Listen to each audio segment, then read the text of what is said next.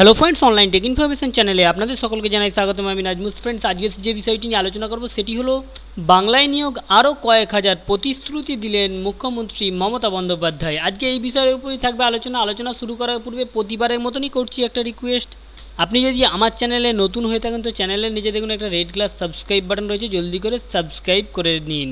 কারণ এমনই নিউজ সম্পূর্ণ ফ্রিতে পাওয়ার জন্য। সাবস্ক্রাইব করার পরেই একটা বেল আইকন আসবে, সেটাকেও ক্লিক করুন। কারণ যখনই আমি এমন কোনো নিত্য নতুন trending latest update video upload করব, তখন সর্বপ্রথম নোটিফিকেশান আপনার কাছে পৌঁছে যাবে। চলুন শুরু করা যাক।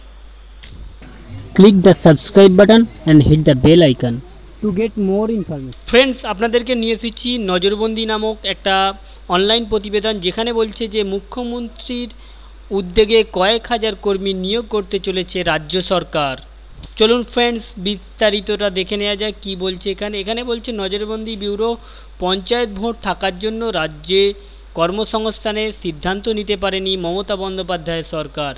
আর সোমবার নির্বাচনী আচরণবিধি শেষ হয়েছে। বুঝতেই পারছেন যে সামনে পঞ্চায়েত ইলেকশন ছিল, কত বড় একটা সমস্যা থেকে থেকে থাকে এই ভোটকে কেন্দ্র করে। তাই রাজ্য সরকার বলছে, সামনে ভোট ছিল, তাই জন্য কর্মসংস্থানে কোনো সিদ্ধান্ত নিতে পারেননি। আর তারপরেই রাজ্য সরকারের বিভিন্ন দপ্তরে, অর্থাৎ পঞ্চায়েত ভোট কমপ্লিট হয়ে যাবার পরে বলছে যে, রাজ্য সরকারের বিভিন্ন দপ্তরে তিন হাজারের বেশি পদে কর্মচারী নিয়োগের সিদ্ধান্ত নিল মন্ত্রিসভা। কোন কোন দপ্তরে নেবে সেটা জেনে নিন যে, শিক্ষা শিক্ষা দপ্তরে নেবে স্বাস্থ্য, স্বরাষ্ট্র, প্রাণী সম্পদ বিকাশ সহ একাধিক দপ্তরে এই নিয়োগের সিদ্ধান্ত নেওয়া হবে। একাধিক স্কুল ও কলেজের শিক্ষক, শিক্ষাকর্মী নিয়োগ করা হবে খুব তাড়াতাড়ি।